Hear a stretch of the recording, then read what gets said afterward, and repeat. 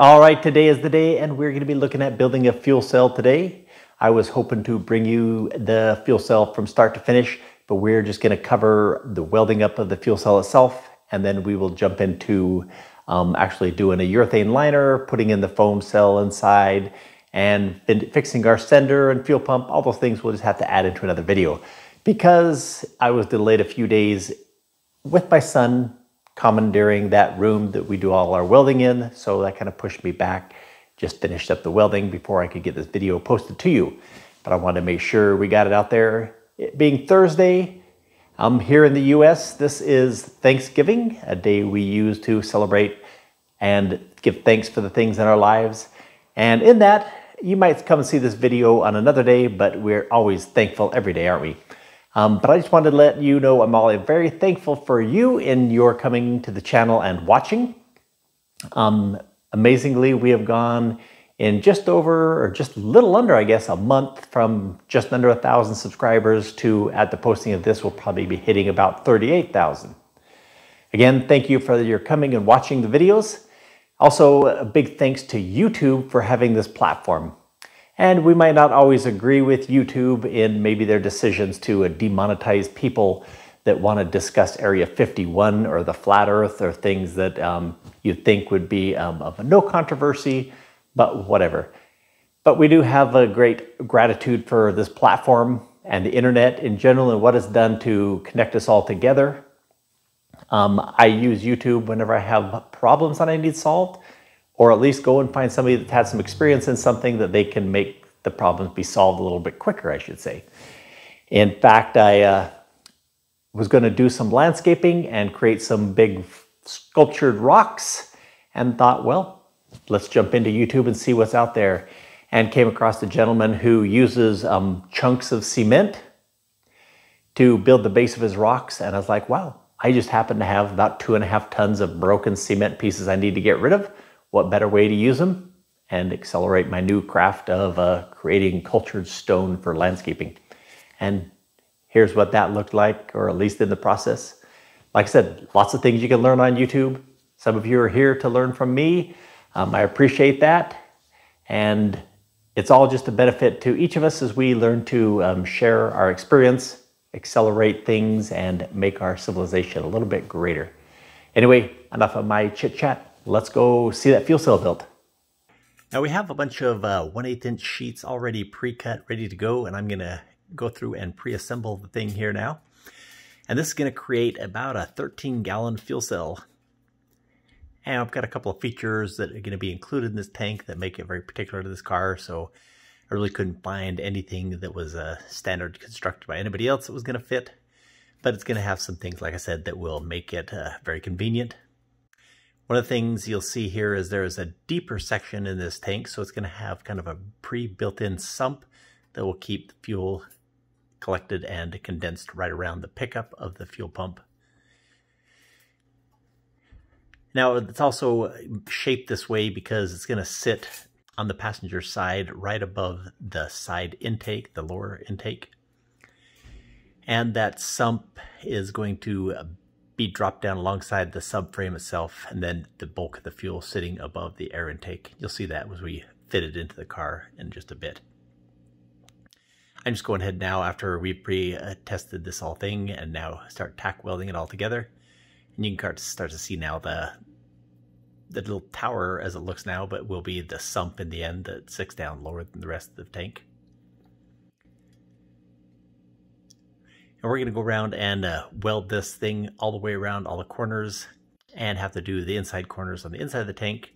But we have the convenience of this tank also having a full lid. The top of the tank will come off, which can make it convenient for servicing it, getting to the fuel pump, the pickup, and we will be adding some foam to this tank. Going to make it very easy to install that.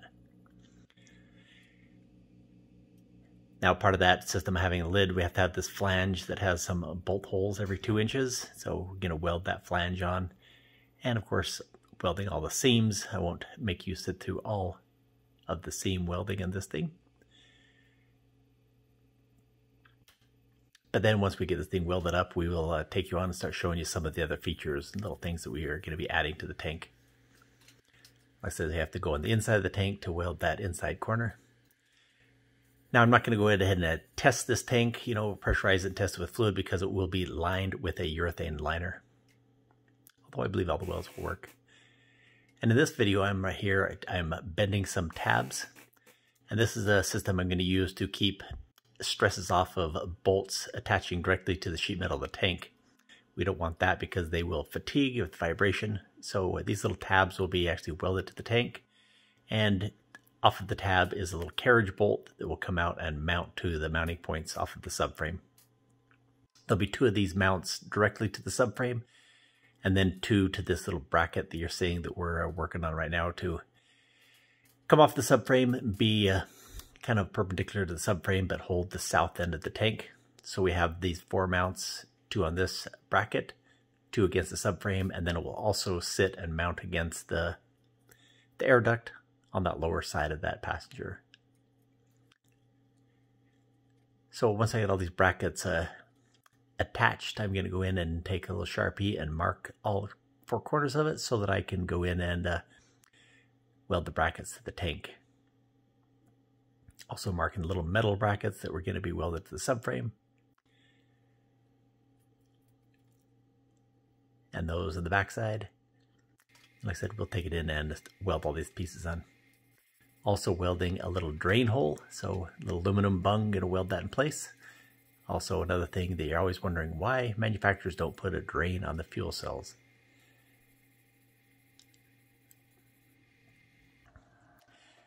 Once we got that drain in place, we're to go ahead and put these brackets on that we've just seen um, marking. And tack welding this one in place. Um, I did not get video of welding all the brackets on, but this is what they look like in place. I said, the little carriage bolt comes through there. That carriage bolt is loose but we'll have rubber bushings holding it in place as well. Now here I'm also just turning down a piece of aluminum tubing to act as our filler spout. It'll slide right through nicely tight into a hole into the lid, welded on the backside, and then I also have little grooves to uh, be able to securely fasten the rubber filler neck. Again, go around, weld this whole thing in place. And then we'll switch to one of the last things. We're going to also put some interior bracing in this tank. Not so much to brace the tank as it is to hold the foam, the fuel foam to hold the sloshing to a minimum. But the bracing will hold that foam in place, keep it from moving with the fuel.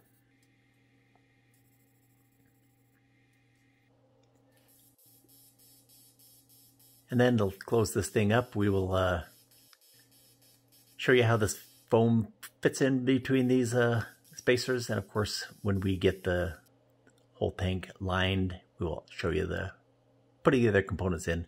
But the fuel just fits between all these spacers to keep them from moving.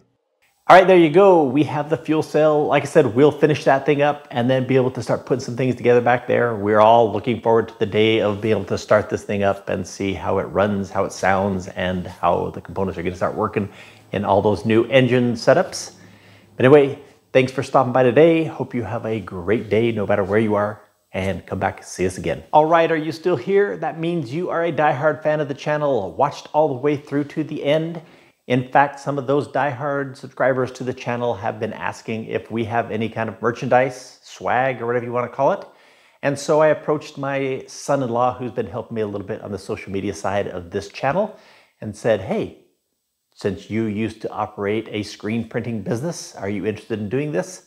And he said, no. Well, what he meant to say really was that it would be a lot easier to just use Teespring, that company that YouTube has got an association with, and set up a store through them. So we have done that. You can jump down below this video and connect to Teespring and that merchandise that supports the channel here. Um, we appreciate it. If you are one of those fans that likes this kind of thing or just want to support us here on the Builder Creator channel, um, like I said, jump down, go into Teespring and see what we have offered there. Anyway, thanks again. Thanks for watching all the way to the end. This is the end, really the end.